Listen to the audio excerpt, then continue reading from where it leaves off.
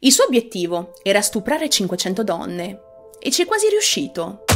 Il nome di questo criminale è Giorgio Bara. È stato scoperto per la morte di Lucy Blackman e Carita Ridgway. Le aveva drogate e poi stuprate. Lucy l'ha fatta a pezzi e nascosta, ma l'intera vita di questo criminale è venuta fortunatamente alla luce, anche se troppo tardi. Era un eccellente uomo d'affari, oramai caduto in rovina, ma aveva delle idee contorte e perverse. Non sappiamo il perché abbia avuto voglia di uccidere, ma sappiamo soltanto che,